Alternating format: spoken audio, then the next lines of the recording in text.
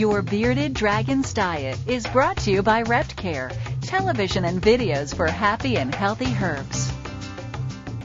Bearded dragons, what do they eat? Well, we're back with Hillary. Hillary, tell us a little more about the diet of a bearded dragon. Sure. We'll start out with the younger bearded dragons. Okay. A younger bearded dragon needs more of a protein-based diet, anywhere between 60 and 80 percent protein. Um, in front of us here, if you want to go ahead and pick out the mealworm Okay. out of the cup there, that's ideally what you would feed a younger bearded dragon is the smaller. Okay, we have two sizes here. This is a smaller mealworm and this is the super mealworm. And the super worm you would feed to an older bearded dragon or an adult bearded dragon, and the smaller one you would feed to a baby or a juvenile. Okay, Also, you have the crickets over here if you want to go ahead and show that to them. all right. And you would also base the cricket size on the size of your bearded dragon. This one here is for a mid-sized to adult bearded dragon. Mhm. You would give them crickets, and then for a treat, you would give them the wax worms, which are in this container here. Okay. Adult bearded dragon's diet should be mostly vegetable and less on the protein. So when they're younger, you want to have a higher protein, and when they're older, you want to have less protein. Um, here we have some romaine lettuce. Okay. and we have some carrots. You can also add in yellow squash into the diet. There's many uh, reptile-friendly vegetables that you can use. When they're older, you can give them larger leaves of romaine. When they're younger, you just want to go ahead and break it up into little pieces like so. Mm-hmm. And if you want to demonstrate, Israel, how you go ahead and shred the carrot with a cheese grater. Okay. It's a very easy method. I'm not much of a chef, but I think I can pull this off. All right. This isn't too hard. How's that? Looks like you're doing a good job. Okay, good. All right, what do we do now? Next, on the food, you would place either their multivitamins or their phosphorus-free calcium. Okay, is this kind of like vitamins we take? Yeah, just like vitamins we take. In the wild, they get their vitamins and their calcium the natural way, Mhm. but they can't do that when we have them in captivity. So we need to make sure they have their supplements. Okay, and these are our supplements, right? Yes, on the Okay. right we have our phosphorus-free calcium, Okay. and on the left we have our multivitamin. All right, which one should this guy get? Well, this guy is an older bearded dragon, so he would receive the multivitamin.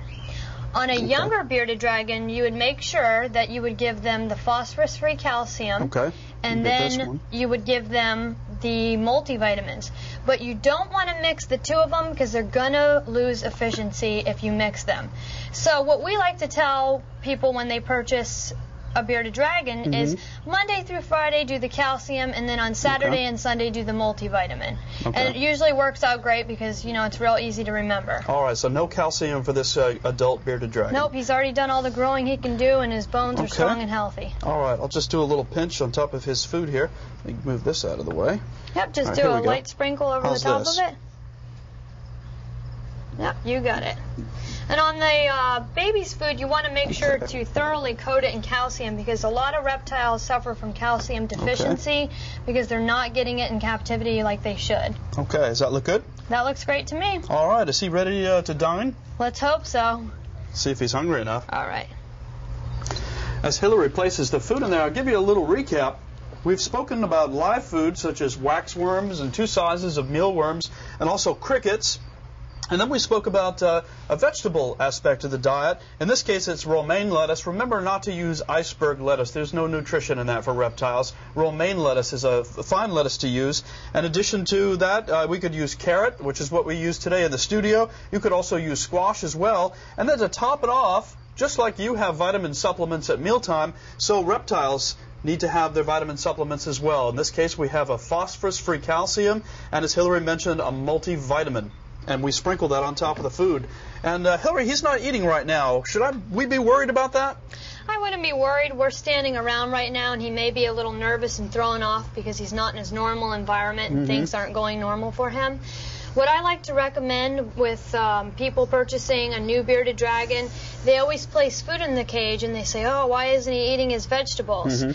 A lot of times, bearded dragons will go for the wax worms or the mealworms or crickets first because Okay. it's. I like to liken it to candy to a kid. If you give a kid a kid candy, Mhm. they're going to eat the candy and not their veggies. So in the morning, offer them their vegetables first and then offer them their insects because they're more likely to eat their insects. So just go ahead and offer them a fresh plate of veggies. Make sure it's always fresh every single day when you feed it to them. You never want to give them any rotten vegetables. So give them their fresh vegetables, leave it in there until you notice they eat some, and then go ahead and offer them their insects. Okay, there you have it. The diet of a bearded dragon. Just as eating food that uh, tastes good and, is nutritious to you uh, is important, so it's important also to your pet bearded dragon. So, some things to keep in mind here uh, as to feeding your bearded dragon to keep a healthy and happy pet. We'll see you again. Your Bearded Dragons Diet was presented by ReptCare, television and videos for happy and healthy herps.